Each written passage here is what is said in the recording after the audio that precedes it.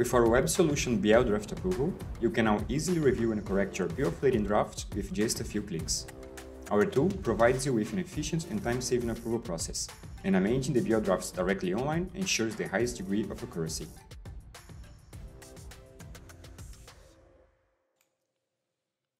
Hello, my name is Felipe and I'm the product owner for the documentation web solutions at Hapag-Lloyd.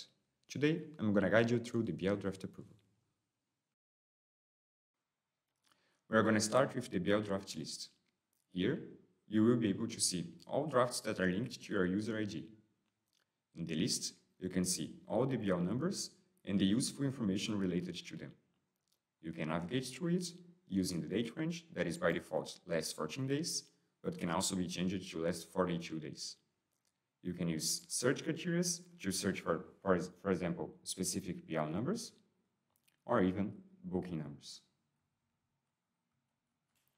Then you can also use the filters open for review, correction sent, approved, and released, which are the document status. Apart from that, we have the document types bill of lading and CWB. In the list by itself, you can use the header to sort out the order of the columns.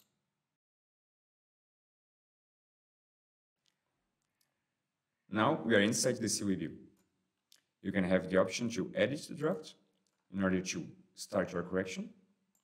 From this moment, you can have several fields in the header editable, such as the shipper, where you can write down specific information, pasting them, or adding more information such as the address. From that, you can use these two buttons to toggle the information back on the original content, or even undo your changes.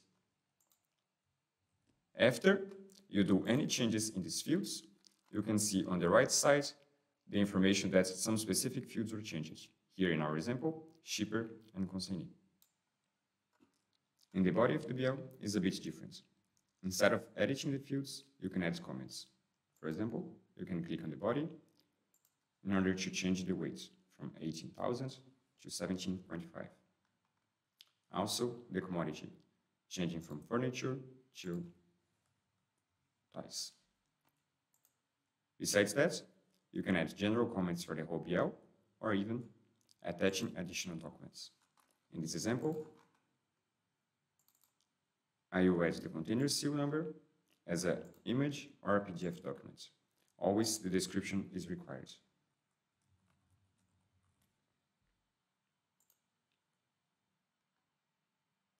After added, you can save for later, or submit your changes. By submitting them, all of your corrections and required amendments will be sent to Hapag-Lloyd team and they're going to work on it. After a correction was submitted, you will be able to see all of your document details and also a summary with your requested changes. Here, how many pages with requested changes, only one, and also the two comments that you wrote.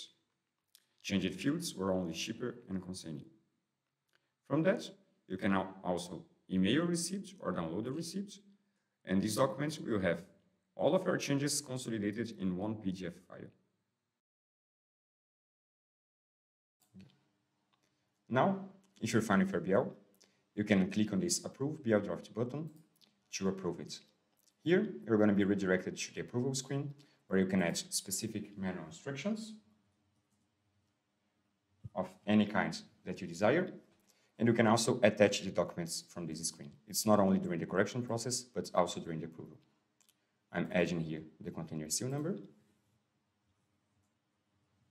Besides that, you can also send structured approval instructions, such as changing the document type from bill of lading to COE view or vice versa. You can change the version of the BL to freighted or unfreighted if you desire, and also changing the place of issue. You can remain unchanged as it was sent on the shipping instruction, or you can change to origin, destination, or add in your specific location. By clicking here, you also have a new option to add another location. After doing the approval, you can click on Submit Approval, you can cancel to commit back, or you can also download the BL draft. You have this PDF documents with all of the information related to your BL. By submitting approval, you can click continue. After your approval was sent, you will be redirected to this page.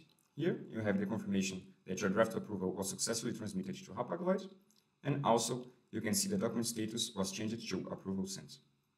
Lastly, you have the possibility to send a receipt by email or download it. With the receipt, same as the correction, you receive all of the information related to your approval and the confirmation that it was sent to Hapag-Lloyd. If you have further questions, you can always check on the right side a bit below our frequently asked questions. Here, you will be able to see answers not only about the product by itself, but also related to the process. This was the presentation of the BL Draft Approval. You can always give feedback by clicking also on the right side, give us ratings, and also write down anything that you desire. We are always checking your comments, and of course, we are happy to hear from you.